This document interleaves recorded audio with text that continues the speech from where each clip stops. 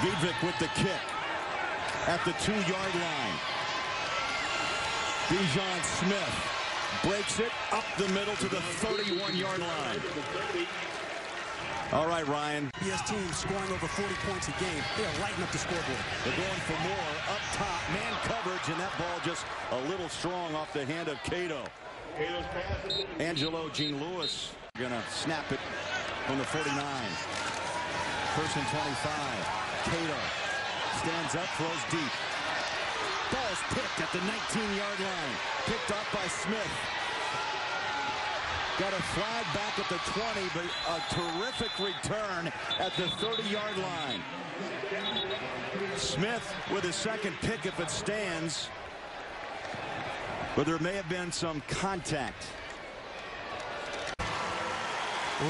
Right at the top of the screen, you're going to see right here, D'Joun Smith. He's in man-to-man -man coverage. He's got to find a way to play aggressive the entire time. And all of a sudden, he uses his hands. He gets beat off the line of scrimmage, but he has great makeup speed and puts himself in good position. I don't see where... he's half. Short. D'Joun Smith. Watch out. 30, 35. Breaks the tackle and driven out of bounds at the 45-yard line. He's had big, big... From the gun goes Cato. Stands in the pocket, frozen traffic, and the ball knocked away. D'Joun Smith. I'd say timed that ball perfectly, Ryan. Went over the team. And that's not easy to do as a defender. His hand's close, but he timed it so that he wasn't able to get in there and his characteristics that got to spill over to inspire this team to get back in this game. Marshall with the football up top.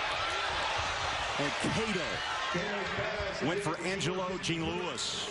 Give him the ball. Let him be your playmaker. Interesting graphic. The average 74 plays. Far off that pace is Marshall so far in this game. They go back to a tight end. From April.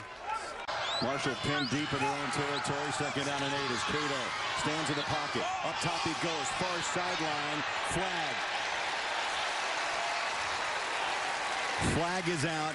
You saw the applause from Deontay McManus, and he was hooked up with D'Joun Smith. Defense, number 21. You're going to see D'Joun Smith right there, number 21. He's in perfect position, right where you want to be. I don't understand. That's a ticky-tack foul right there. His hand may be on him, but both players are being aggressive right there. I don't think that that's a, a pass interference call. Ron, all I can see is that he had his arm hooked underneath his right. He's at... Well, that's the home wrecker. FAU's trying to wreck the home game today for Marshall. Big play up top. Great grab. Deontay McManus. And now you see Cato. Looking a big, Deontay McManus comes up with a catch that was needed. They've been trying to go to the fade route all day long. Cato gave his wide receiver a chance to make a catch, and he did it. There's over three minutes left, third quarter, kicks away. D'Joun Smith has room. Near sideline, 25-30.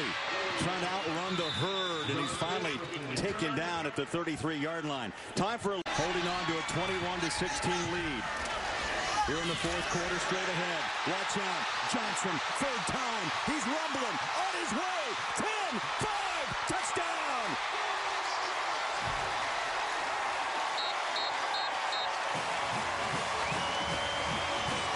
that tire, he's fine. Now FAU's got an answer. Kick at the two-yard line. D'Joun Smith breaks a tackle, tripped up, spins past the 21-yard line. 10-play, 62-yard drive, five minutes off the clock, and it's 35-16. The score will not indicate how tough FAU fought today here on the road. D'Joun Smith has had some great returns, and he continues to run it up to the 50-yard line.